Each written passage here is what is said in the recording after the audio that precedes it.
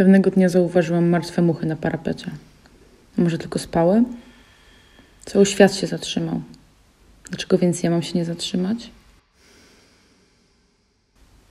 Leżałam i patrzyłam w sufit. Nie spałam, nie jadłam. Po prostu wgapiałam się w sufit. Potem przyleciały one.